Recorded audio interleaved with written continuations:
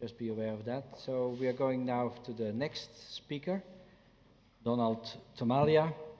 He's uh, CEO founder of NanoSynthons, National Dendrimer, Dendrimer and Nanotechnology Center in the US.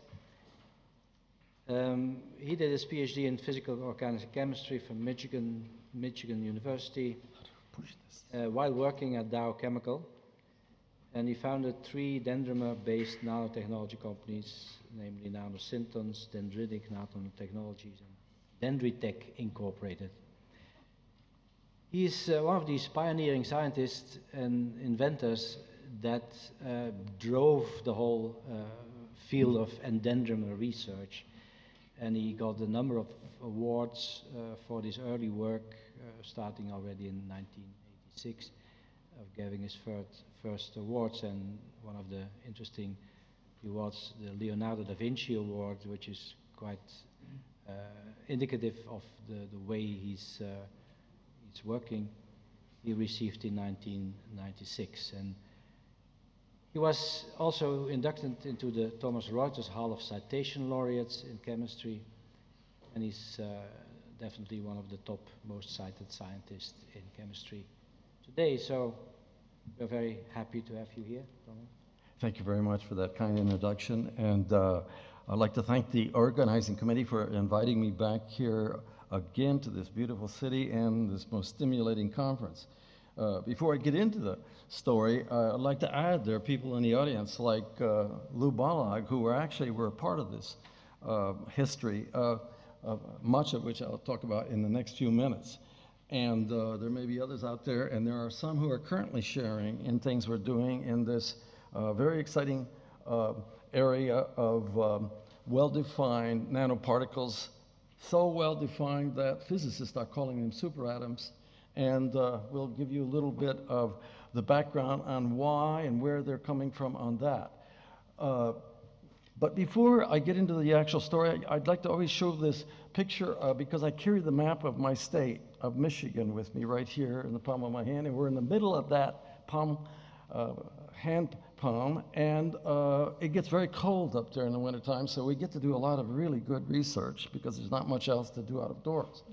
But notwithstanding, uh, we have focused on several, uh, a, a, two major classes of well-defined nanoparticles, those that uh, may be referred to as organic or soft nanoparticles, and, uh, and the other class being the inorganic or hard nanoparticles.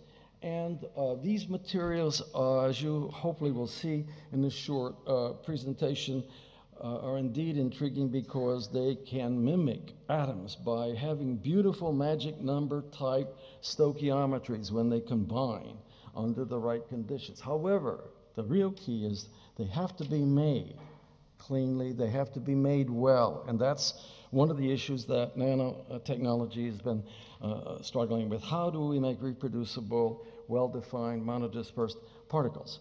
Having said that, uh, the major universities, we always have external academic uh, collaborations, and the major universities we've been interacting with this past year have been Hopkins, uh, VCU, University of Pennsylvania, and University of Udine.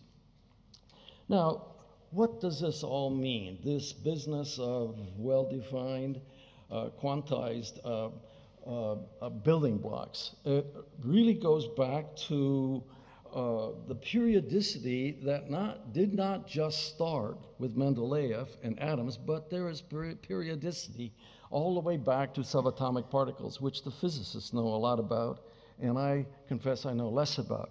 However, what amazed me is that this periodicity has a unique way of being transferred from one hierarchical level from the atomic level to the molecular level. We know how precisely and beautifully we can make molecules. In fact, many of our pharma, many of our drugs are based on this beautiful preservation of these six parameters here size, surface chemistry, their shapes, their composition, etc. In fact, the traditional pharmacy people always work with, whether they realize it or not, these six very important critical hierarchical design parameters. When they are at the atomic level, they are called critical atomic design parameters. At the molecular level, they're CMDPs. At the nano level, CNDPs. And we're beginning to see them develop even up at the micro level. It was uh, roughly a year ago now that Bengt Fadeel from Karolinska Institute heard part of this story and asked us to write an article, a- an invited review article for the Journal of Internal Medicine to try to share this story with physicians. So it appeared in the Journal of Internal Medicine, and I'm now beginning to get some very beautiful contacts, wonderful contacts from physicians because these very amazing periodic properties that I'm trying to describe to you were touched on by Patrick Hunziker this morning when he said, Wouldn't it be wonderful if we had predictable patterns so that we didn't have to make thousands of compounds to find the very best one? And that's literally what we're trying to do here now with these uh, uh, particular uh, concepts. It was roughly three years ago. I, many in this audience, particularly Lou, knows that I have been thinking about this so-called dendrimers behave like atoms for at least a couple of decades. But it was only three years ago, after I was invited to give an, a lecture before the American Physics Society in Boston, that I found out the physicists have a parallel world. They have been working in the um, literally the same concept, but with all inorganic materials, and they've been referring to these entities as superatoms. We were literally calling them nano elements in our particular concept, but now we've come to agreement, and since then we have, uh, uh, I think I, I'm giving as many physics talks now on this subject as I am chemistry, because the physicists really are excited about this, because they are making predictions with these periodic property patterns that they could not make before. And I'm here to tell you this morning, I want to see this, these predictions move into the nanomedicine area. And in fact, this very first uh, publication that came out this past year is a first, our first effort in that direction. Having said that, how we, we need to consider this all in the context of more practical things in life, namely, how do we get our nanoparticles, our nanotherapies through the FDA, FDA approval process? We know it is going to, they are going to involve either, either hard or soft nanoparticles. We know they're going to be based on structure control and the ability to engineer those features so that we can get through at least these very first two difficult hurdles. The first one, of course, is safety. That, by definition, implies nanotoxicity. And in fact, that's what many of our nanoperiodic property patterns are allowing us to do, and that is to predict toxicity, not only based on surface chemistry, but combinations of surface chemistry with sizes, with shapes, and with uh, other uh, architectural features. And then, of course, a very important feature is efficacy. How does one use the techniques that medicinal chemists, that pharmaceutical companies have used for decades to optimize using QSAR, quantitative structure activity relationships. How can we utilize that kind of a protocol to optimize our nanomaterials? And of course, this comes later after we've passed the first two hurdles. Uh, although these lists are not complete, I would like to just show you some active materials in the clinical phase. Uh, both this and this particular slide, these are hard nanoparticles. These are, this is not ex uh, an exhaustive list. It's just to show you uh, the nomenclature we use for naming these categories, as well as two that uh, two nanoparticles, hard particles that are in the clinical activity uh, area. This afternoon, we'll just focus on a couple of high-profile examples in the soft nanoparticle area, and they are all either approved nanomedications or they are two of the top contending uh, nano uh, therapies that are either in phase one or fa one of the phases between one and three. It so happens that VivaGel is in phase three as a very active antiviral against bacterial vaginosis. And Bind, I believe, is uh, going into phase two as a very um, effective vector for delivering cancer therapies.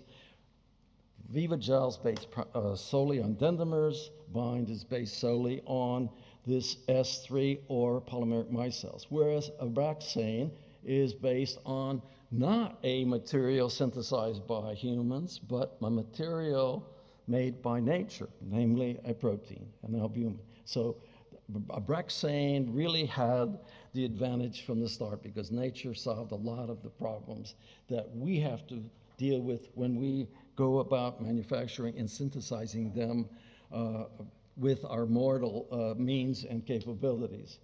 Having said that, how do we engineer these CNDPs to optimize uh, our, our uh, uh, nanocandidates for in vivo nanotherapeutics?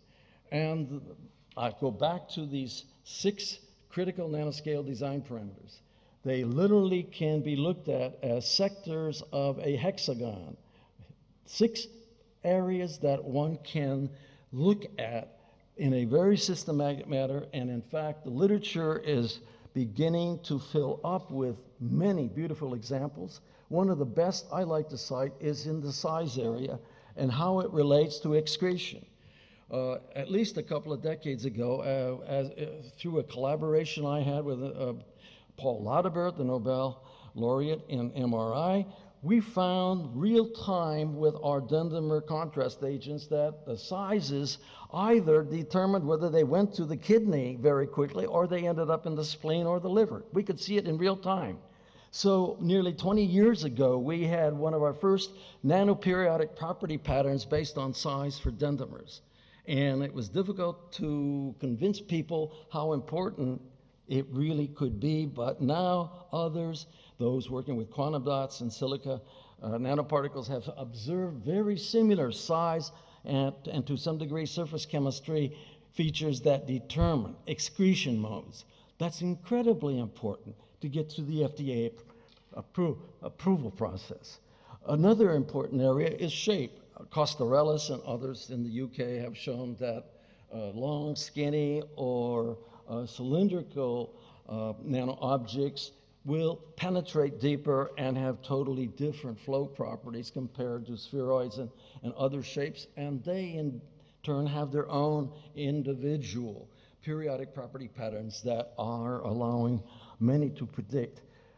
One of the most exciting developments lately involves a property that has been uh, periodic properties that we're beginning to see in the area of surface chemistry. Dendrimers by definition, can be modified with nearly 1,000 different surface chemistries. And among these many surface chemistries we've looked at, one of them, a proprietary material, uh, was examined by uh, an expert sitting here in this room on complement activation, and that's Professor Moein Moghimi. Moghimi, in a collaboration with uh, my group and others at Copenhagen and the Cosmophos project has found a surface chemistry that looks to be, and I can't talk about it, equivalent to, if not better than PEG. So surface chemistry, I am certain, will be playing a, an amazingly important role in the very near future as some of these uh, results are published and allowed to go public. I could go on and on about patterns in all of these other six areas, but time doesn't allow me. Having said that, I've tried to take those six areas and color code what were the assets and what are the downsides of both the hard nanoparticles and the soft.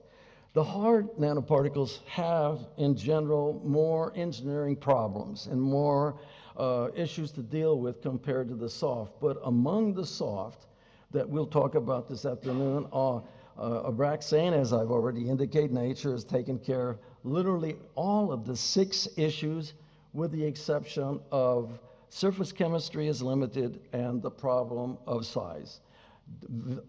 The uh, VivaGel is uh, uh, probably the only uh, material based on dendrimers, of course, which really can be engineered in all six categories. And very quickly, I want to take you through what were the steps in optimizing this. The Starpharma people found they had to bind a very important region on all viral particles, and they needed a high multiplicity of anionic clusters, and it had to be a particular size, and it had to have a certain hydrophobicity. And by doing the QSAR that I talked about, they were able to pick out the very best, best candidate that is now in phase three clinical, SPL7013. The second area that they were able to optimize was the notion of, as a topical drug, they did not want it to penetrate, and as such, they looked at these patterns that are shown here in a very primitive form and found that the hydrophobic uh, nature as well as the size is very important for the success of VivaGel as a topical agent that is in phase three against bacterial vaginosis. And of course, the structure they ended up with is shown here, where they've combined the multivalent anionic cluster characteristics with the exact size they needed to cover the binding region on the viral coats and the hydrophobic presentation of sulfonates as anions. And that led them, and it's a polylysine dendrimer generation three, and that led them to their phase three clinicals, which I expect they're going to be completing in the very near future. As the final wrap up now, the bind technology now has a few more problems. And the Starpharma, these are not my data, these are the Starpharma data. And this is the next to last slide, so uh, I'll go through it quite quickly. The, uh, the, uh, the uh, Dendrimer people were able to engineer all of these parameters shown here to give them distinct advantages compared to the many uh, engineerable but other disadvantages that poly, uh, polymeric micelles present. One of the mo- probably most uh, negative uh, features of polymeric micelles is you cannot make them any smaller than roughly 20 to 30 nanometers. And we are beginning to find that for cancer therapy and deep penetration, one needs to be able to go to much lower and smaller dimensions. So many of these advantages, as you see here, have been engineered according to the protocol I just described to you by the very capable people in Melbourne and in Monash University in Australia. And I think their efforts will soon pay off as they make it through the phase three. Having said that, the final message is we're just imitating what the traditional pharmaceutical people have been doing with small molecules. We're simply applying it in the context and then with new protocols to larger systems that are not as well controlled as these molecular structures were here, or that of abramamide, or the albumin uh, that uh, uh, was controlled by uh, the protein formation and has shown up in a very successful and approved uh, product called Abrama, uh, uh, Abramax. Having said that, I'd like to acknowledge uh, this very short list here of people that I've had some important discussions with and, uh, and point out that if none of this made sense, just Google Tomalia nanoperiodic and you'll see more, or look at this Journal of Internal Medicine article or the eighth chapter in our book on dendrimers. This page over here shows you how we are able to make PAMAM dendrimers that are literally as clean and as pure as the proteins that Abramonex has uh, really uh, uh, an example of. And so I think that is another issue that all of us will have to deal with. How do we consistently and reproducibly make these nanoparticles accordingly, according to the specifications that we find are most optimum for these therapies? And I want to thank you, and I'm probably over a little bit.